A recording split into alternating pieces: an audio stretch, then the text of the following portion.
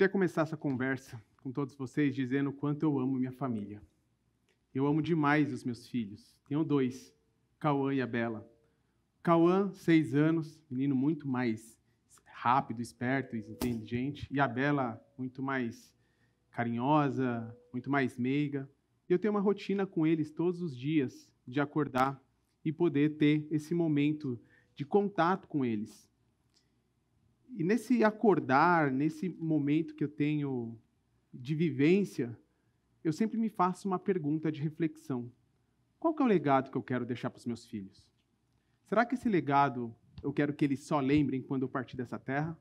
Ou será que esse legado eu quero que eles vivam comigo diariamente? E é sobre isso que eu quero conversar com vocês. Legado. O Brasil, ele vive uma situação muito alarmante.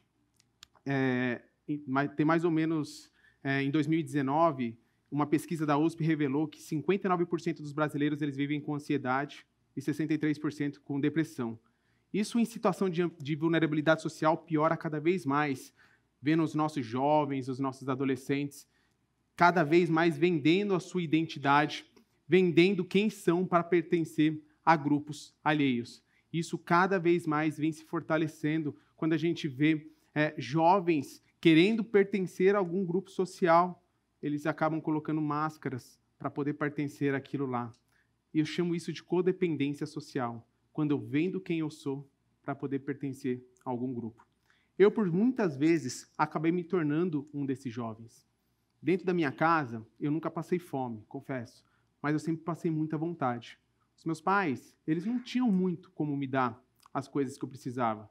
Então, aos 13 anos, eu comecei a trabalhar como servente de pedreiro e limpador de fossa. Voltava para casa muito cansado, as mãos calejadas, doía muito. Eu ficava muito exausto quando eu chegava. Nunca fui de estudar, nunca gostei desse tema de estudar, né? E eu vi no empreendedorismo uma forma de mudar a minha realidade. Mudar essa, esse desejo de não quero mais viver as vontades que eu estava passando naquele momento mas eu gostaria de ser o próprio é, interlocutor da minha, da minha vida, da minha história. E montei minha primeira empresa aos 16 anos. Com 18, já fundei a minha segunda, com quase 100 colaboradores. Eu tinha um único objetivo naquele momento: ganhar dinheiro. Queria ficar rico. Não queria mais voltar naquele momento que eu estava, da minha infância, da minha adolescência, de ver amigos, de ver colegas que tinham acesso a algumas coisas e eu não tinha. Então eu queria ficar rico. E ali eu fui trabalhando com um único, um único exclusivo objetivo: ganhar dinheiro. Mas quis o destino que, na faculdade, eu conhecesse a minha esposa. Conheci ela no trote da faculdade. Olha o destino, que loucura, né? Faculdade de Publicidade e Propaganda, onde eu coloco no Google para escolher essa faculdade, faculdade que menos precisa ler. E lá aparece para mim Publicidade e Propaganda. E no trote da faculdade, quando eu conheço minha esposa, conheço uma mulher cheia de virtudes, uma mulher cheia de princípios, e eu mais um adolescente, um jovem vagando nesse mundo maluco, querendo só ganhar dinheiro, ganhar dinheiro e ganhar dinheiro. Ela me mostra que é possível a gente usar a nossa vida para transformar a vida de outras pessoas. É possível a gente usar a nossa vida para ser fonte inspiracional na vida de outras pessoas, semear na vida de pessoas. E ali, junto com alguns amigos, eu decido fundar um projeto social. Um projeto social no centro de São Paulo, onde a gente cuidava de mais de 200 crianças, dando aula de futebol, circo e balé. A gente queria dar para aquelas crianças um novo propósito, uma nova identidade e princípios. Mostrar que elas não precisavam é, é, ser da onde elas vieram, elas poderiam mudar as suas realidades. Mas essas, esses jovens, essas crianças, quando chegavam 16, 17 anos, a gente acabava perdendo elas para o crime. Eu não poderia mais atender quando elas chegavam na sua vida adulta, né, aos 18. E foi no empreendedorismo social que a gente começou a ver uma alternativa. Percebi que ONGs e projetos sociais cada vez mais precisam trabalhar para arrecadação de recursos. 80% do tempo de uma instituição, de uma ONG, é arrecadação de recursos.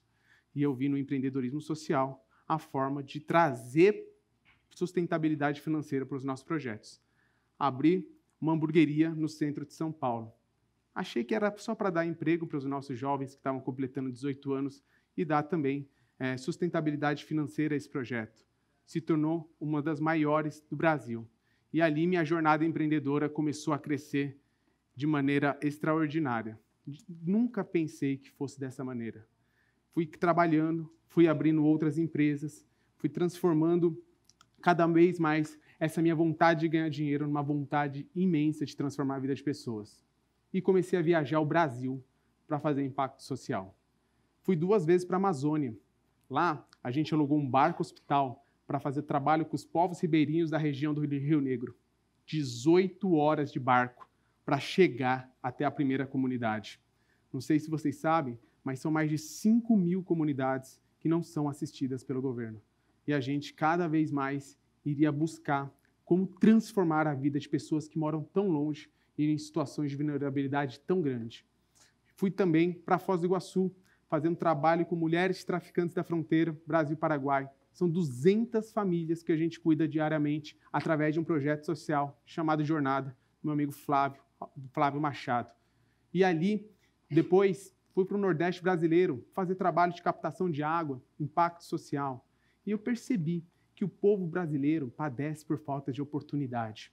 Eu entendo isso, mas também muitos deles padecem por falta de conhecimento.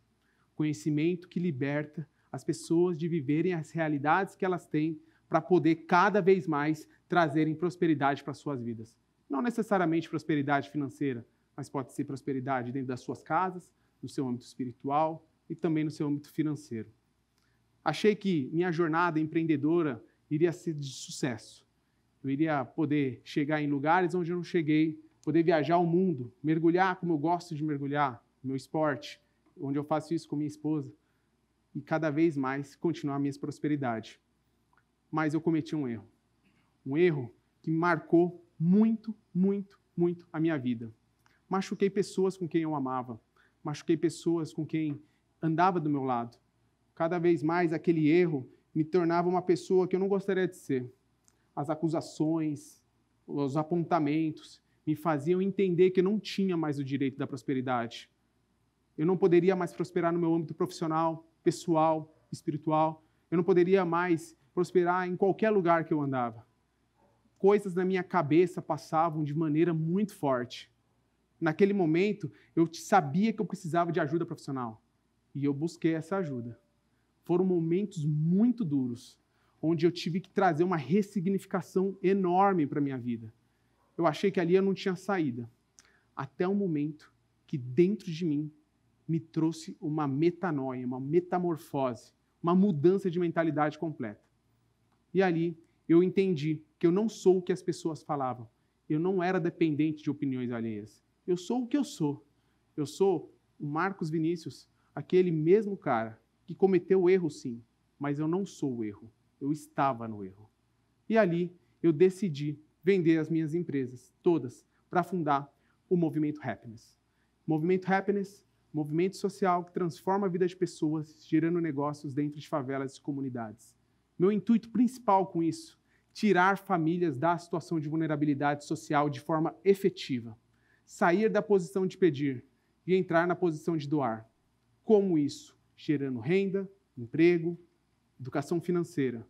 Para mim, impacto social não é eu dar para o outro, mas sim dar a liberdade para o outro escolher o que ele quiser, da forma que ele quiser e como ele quiser.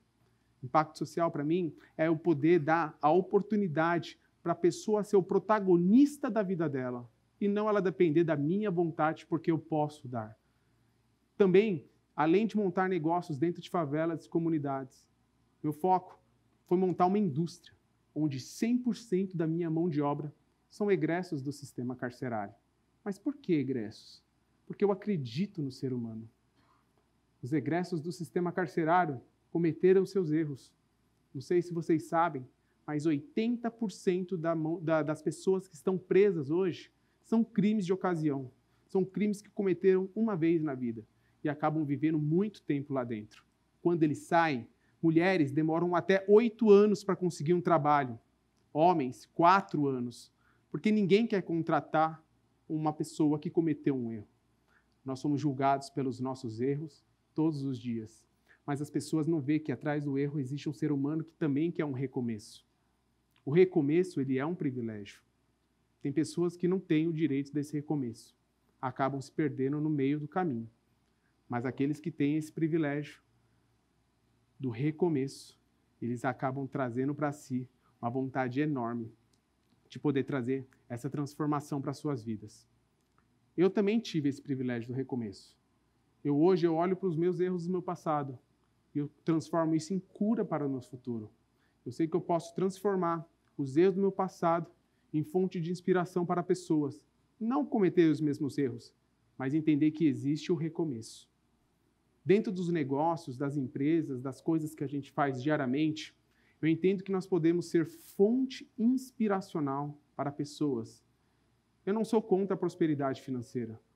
Eu não sou contra a prosperidade de você ter dentro das, do, do, do seu, dos seus patrimônios casa, carro, viagens nacionais internacionais. Mas uma reflexão que eu trago para vocês: será que nós viemos só para isso? Será que nós viemos para este mundo somente para ter um bom carro, ter um bom apartamento, ter uma boa qualidade de vida? Eu não tenho nenhum problema com isso mas eu acredito que mais é o que dá do que o que recebe.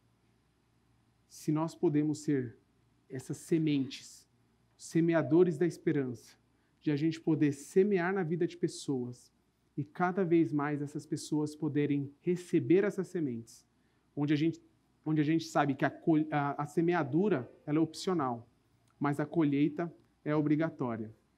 Eu entendo que nós, aqui, como sociedade, o maior privilégio que a gente tem é transformar a vida de pessoas, é transformar a vida do nosso meio ambiente, a vida dos nossos animais.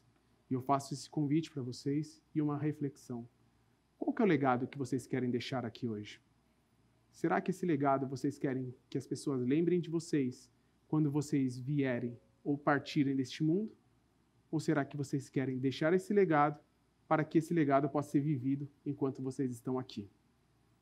Meu nome é Marcos Vinícius e eu sou um semeador da esperança.